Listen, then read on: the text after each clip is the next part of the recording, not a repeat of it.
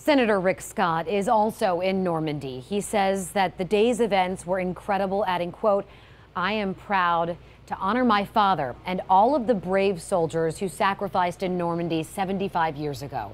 His father, Orba Scott, was among the soldiers of the 82nd Airborne who parachuted onto the beach. Senator Scott says he is humbled to honor all of the men and women who have fought for our freedom.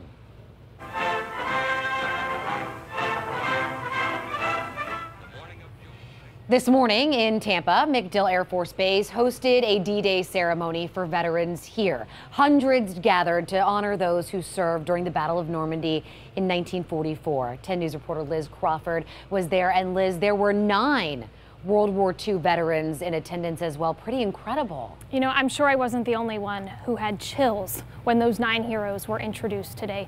It was like being with celebrities, everyone just wanting a chance to shake their hands and say thank you. Now, this morning, inside the auditorium on MacDill Air Force Base, the crowd first watched footage from D-Day. After the World War II veterans were introduced, eight men and one woman, the crowd listened to guest speakers who talked about the greatest generation and the legacy they leave behind. The Honor Guard then presented each veteran with a folded flag as a thank you for their heroism and sacrifice. This is my country. This flag means a lot to me. And this flag was anywhere I went aboard ship, this flag waved. I have a feeling for the flag.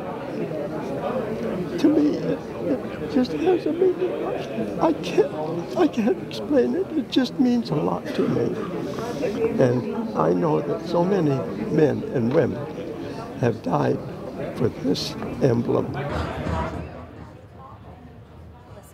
After the ceremony, hundreds in attendance lined up to greet the World War II veterans and thank them for their service. One of the veterans who was in Normandy 75 years ago told me he was just doing what he was supposed to do.